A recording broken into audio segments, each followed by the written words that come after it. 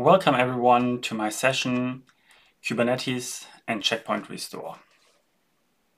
My name is Adrian Reber. I work for Red Hat since 2015 and I'm involved in process migration, which is the basis or which is the result of Checkpoint Restore, restore for at least 10, 11 years now. Um, I'm involved in, in CRI-U in some way since 2012. CRI-U is the basis, as the tool we use to checkpoint and restore um, our processes and container here today. And um, I'm focusing on, on container migration around, I would say, 2015. And the agenda for today is I first want to give an introduction about um, a few definitions I'm using. Um, then I want to um, show a few use cases why checkpoint restore and um, container migration might be might be something something useful. And then I want to give some details about um, basically how, how CRI-U enables us to checkpoint and restore processes and containers. So first, the definition of container life migration, because the work to get um, checkpoint restore working with container is always also uh, the possibility to migrate containers from one system to another one. And, and, and, and basically the idea behind container life migration is transfer a running container from one system to another system. You could also call it maybe stateful migration, because the state of the application in the container is not lost, um, but continues to be there. And a very on a, from a very high level view, um, container migration is basically we serialize the container on the source system, write it to disk, um, and transfer the, the, the, image we, we written to disk to, to a destination system. And on the destination system, we restore from the image, the process, the container, and so we have um, container migration. Um, as mentioned, this is all, all everything I'm talking about today is based on, on CRI-U, checkpoint in restore in user space. The reason for the name is at the time CRI-U was first developed, there were different approaches to checkpointing and restoring in, in Linux. There were kernel-only approaches, there were mixed kernel and user space approaches, there were approaches where you intercepted system calls, and, and CRI-U um, took another approach and completely did it from user space using existing interfaces to collect as many information about a running process as possible. There are multiple integrations of CRI-U in container engines, um, container runtimes, and we'll want to present some of those here. So the one I have to present first is, is the OpenVZ integration because um, they invented CRI-U. Um, they had uh, some mechanism to migrate containers before CRI-U, um, but um, it, I, I, think they were not able to, to upstream it to the Linux kernel, so they worked on something which can be upstreamed and which everyone can use, and so they invented CRI-U, and they are now using it to migrate containers um, using CRI-U. So, and then there's Borg, uh, Google's container engine, it also uses um, CRI-U to migrate container, especially for long-running jobs, which take a couple of hours. If one of the um, container nodes is out of resources or is soon going to be out of resources, then um, Borg can move the container from one system to another without stopping it and without losing a couple hours of work, which might have already went into the currently running job. There's an integration of CRI-U in LXC, LXD. So LXD can migrate containers from one host to another host using, using CRI-U. This also exists for some time already. Then there's an integration in Docker. There's a checkpoint and a restore command, which you can use to checkpoint a container, then transfer it to another system and restore it. And the same exists for Podman. Um, that's what I've been working on the last um, three, four years now to integrate CRI-U in, into Podman. And the work I have done for Podman, I have also um, brought to, to CRI-O. Um, and I'm, I'm working on this now for about for about a year. But the problem is I can it, the pull request cannot be merged in CRI-O because it depends on changes to the CRI API, and this requires changes to Kubernetes. So it's it's it's it's a difficult um, situation because you cannot uh, implement um, one without the other, and so you have to start at some point, and then you can implement the other thing, but the one thing doesn't work. So it's so it's complicated, and we are discussing this um, how to best um, integrate it into Kubernetes. Interestingly enough, there's a um, issue often issue about um, migration open in, in Kubernetes since 2015. There's also a lot of discussion going on there, but until now, nothing has been merged into Kubernetes to implement migration or to at least get um, a step closer to, to implementing um, migration in Kubernetes. So now about um, a couple of use cases. The first use case is reboot and save state. I try to visualize it here. So we have a container running on a host and the host is memory is blue and the container memory is red. So to, to see the differences here. So um, we, uh, we want to reboot a host because we have to upgrade the kernel, but we do not want to lose the state of the container because it takes forever to start. So what do we do? With checkpoint and restore, we checkpoint a container, write it to the local disk, then we reboot a host, so the original host with its memory is gone. And then once the container, uh, once the host has rebooted into new new kernel, that's why we have a we have a different color, but we have the same container running as before. It's still red as before. I have prepared a demo to show this here. So let's um, connect to a RHEL 8 system using Podman. So let me start a container, Podman run. Um, so this is a Wildfly-based container. It's a Java application server, and it has a real simple stateful application in there, uh, which returns just a number. Uh, and once the number has been returned, it increases it. So the next time I get a number increased by one. So it's stateful, and now I can talk to the container and ask for the value. So give me 0, 1, and 2. Now I say I want to create a checkpoint of the container, so I say podman container checkpoint checkpoint the last container and export it to the file. So now um, Podman will write the checkpoint file um, to the disk and then I can reboot the host and later um, um I can restore the container from that uh, checkpoint file.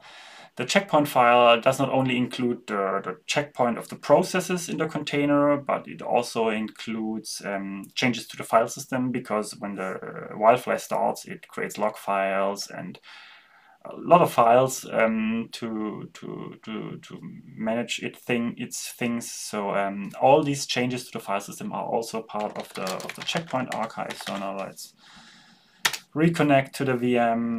Let's see, there's no container running, so let's restore the container, podman container restore, and I say import, and I give it the tar file from before. And now if we connect to the container, it should give us back a 3 instead of the 0 as it would when starting from scratch. So let's talk to the container. And then we get a 3 and a 4. So we did a reboot and we were able to save the state of the container. Back to the slides. And next use case is what I call a quick startup. So again, we have a container of a host, and a container again takes a long time to initialize. and now we want to start up the container faster. So we take a container, a copy of the container. So we take have the container, we take a checkpoint of it, but we leave the original container running. And then we can create multiple copies of the container um, on the host. So let's go back to our demo system. So let's say um, I create another checkpoint. I say podman container check checkpoint last container and now I say um, keep it running don't stop the container after the checkpointing and I again export it to the file. I'm overwriting the existing file um, so we don't need this anymore so um, now again the same thing it will create a checkpoint and the file system differences or everything will put into an archive and now I can restore it. Let's see so the original container is still running I can still talk to it And now I can restore a copy from the container. So when I say podman container restore import again the file. This will now fail because Podman sees that the ID and the name is already in use. And so it tells me I cannot restore this because this already exists. So I tell Podman then use a different name for it. So let's say counter one. Now it will restore the container. A copy of the container as counter one and another copy as um, counter two and then we should be able to talk all containers independently. So now I can say podman inspect counter one to get the IP address of this one. So it says again six, seven. This is the point where I checkpointed it from. And now I can also say inspect counter two and again six, seven, eight. So we create multiple copies um, of an existing container. And in this um, small demo case, I can see already um, improvements in the startup time because usually my Wildfly container takes like eight, eight seconds until it can answer the first request. And it takes about four seconds to restore from, from a checkpoint. So I already, already have like 50% um, improvement in startup time restarting from um, from a checkpoint. So the next um, use case is container live migration. This is basically a combination of the two uh, things I've shown before. So again, I have a container running on a source system. I take a copy of the container and write it to disk, and then I transfer it to a destination system, and there I can create multiple copies um, if I want to. So let's go to, so I already have the checkpoint, uh, okay, I already have the checkpoint so let's transfer it to another system and say temp dump tar and transfer it to another VM. Uh, uh, where is it here? And so now it's container migration. We're middle, middle in the container migration. And now I'm on the other host and there's no container hopefully running here. Now I say podman container restore import again from the file. I just transfer to the host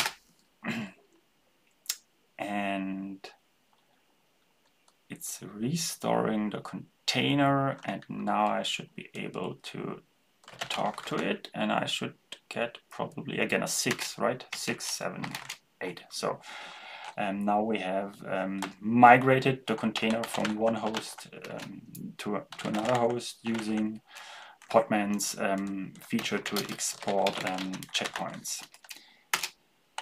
So um, I have uh, one more use case here. This is the forensic container checkpointing, and this is also the, the use case we are currently working on our um, um, Kubernetes enhancement proposal and then the corresponding pull request to it. So the idea is we want to introduce checkpoint restore into Kubernetes, but it's complicated, as I said, with the CRI API. So we try to um, implement a really simple use case of checkpoint restore which um, requires minimal changes to, to Kubernetes. Uh, most of the changes need to happen in the container engine. So uh, what we want to do is we want to checkpoint a container which we think something is not right with the container, something seems to be strange, but we do not want to um, analyze the container in case there's an attacker there and, and in case the attacker has put something in the container to detect analysis of the container. So what we um, do is we take a checkpoint of the container out of Kubernetes and um, try, and then we can transfer the container in, in, a sandbox environment where we can start it without Kubernetes, but without um, influencing the original container. So I also have a demo for this here. So this is now a Fedora system, no longer the, the system from before. I have prepared it here in, in a screen. So there's uh, Kubernetes running with uh, CRI-O in combination. So let's see, CRI control PS. I uh, no, that's the uh, let's find out.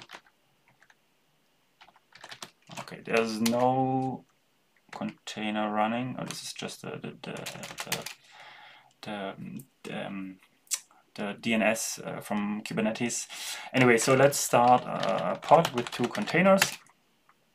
So part with two containers created, we can see, so the first container is already starting up, the same container as before. Again, the Wildfly based container. And there's now a second container, it's called counter. It's, it does the same, but it's just a Python application.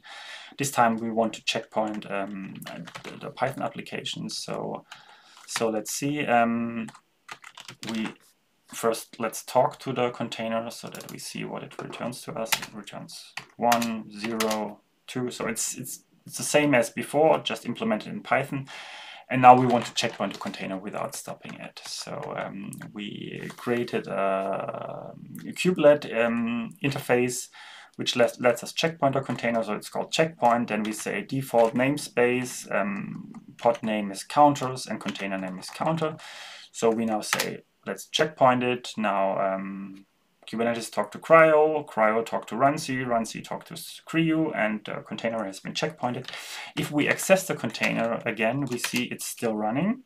So the container has not been uh, changed. So now let's stop Kubernetes here on, on this host. And I will now, uh, I'm on my Windows here, and now I will remove the all the containers from, from this host.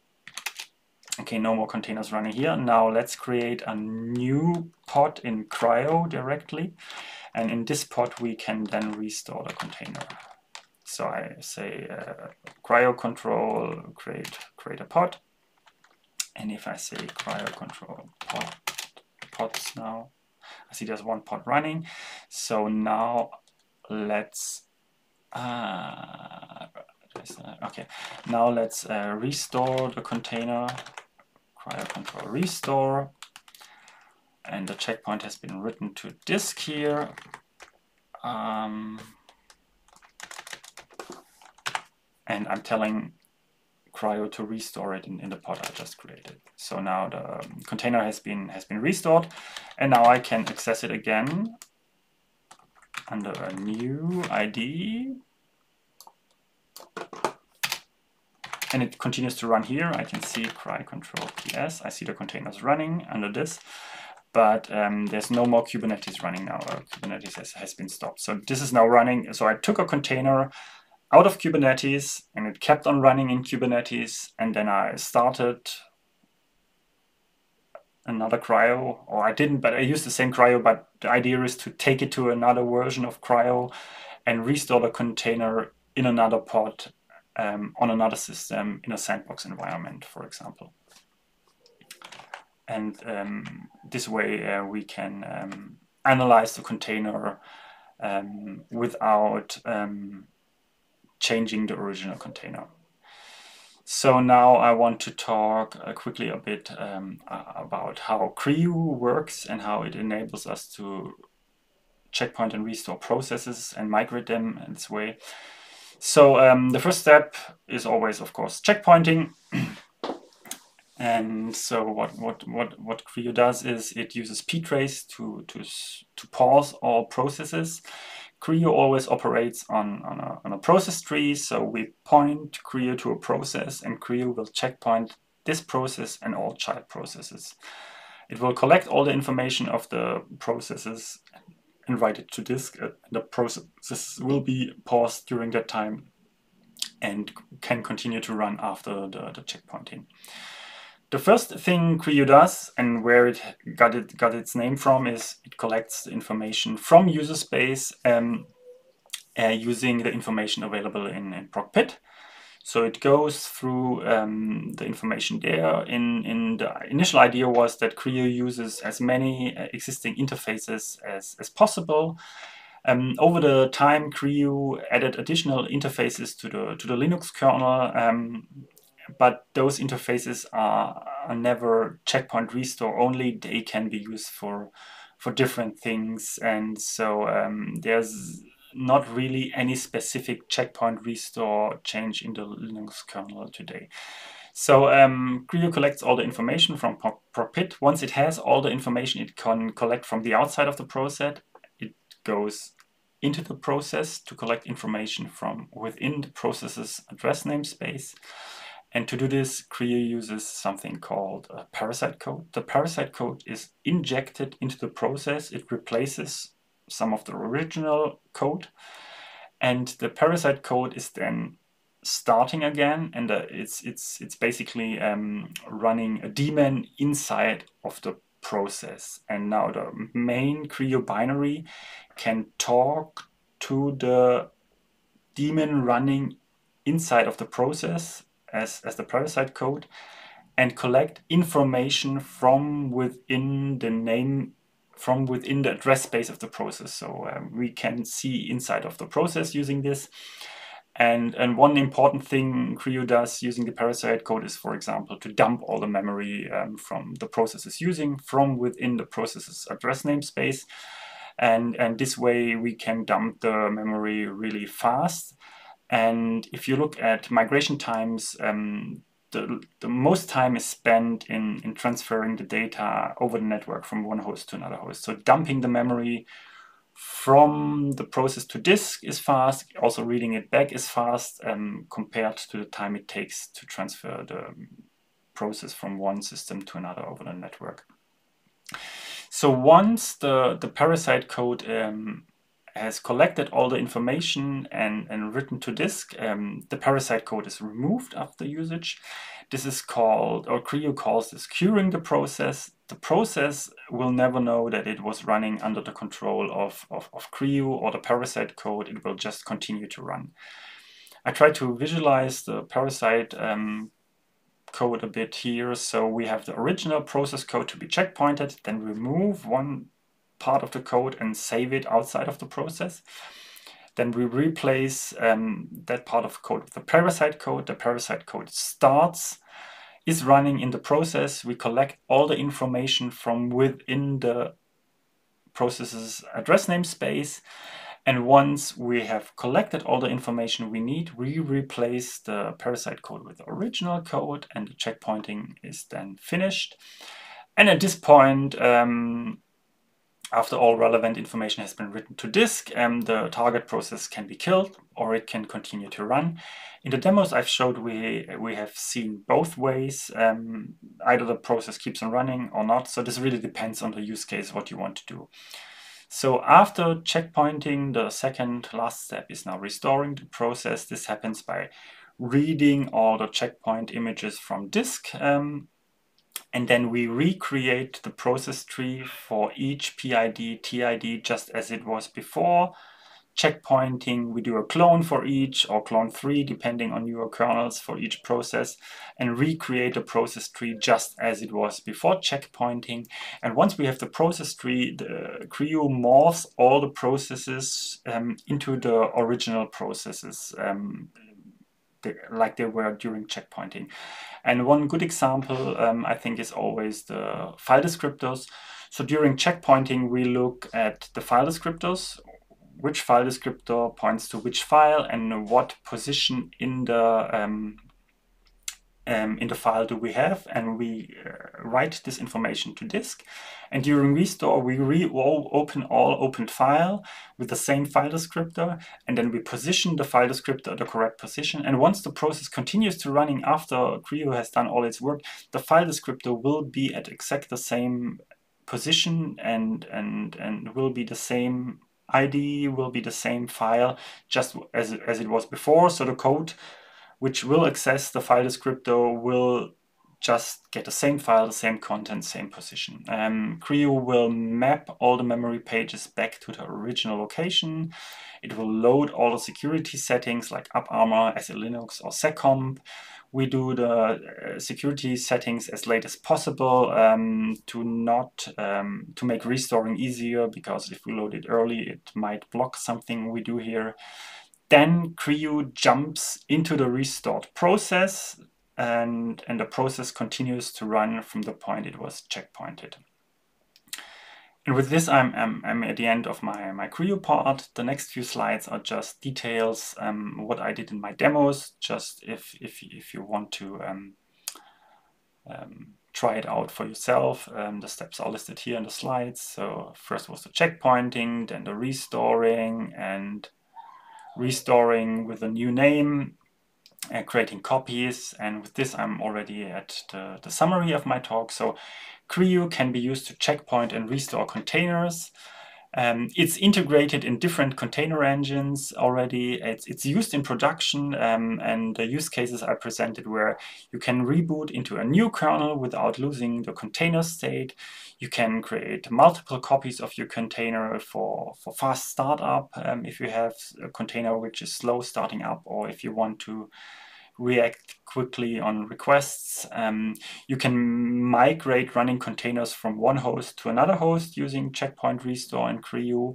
And the thing we are working on currently for, um, for Kubernetes is the Kubernetes Enhancement Proposal 2008, is the forensic container checkpointing uh, with which we hope to enable first steps uh, of checkpointing containers um, in, in Kubernetes.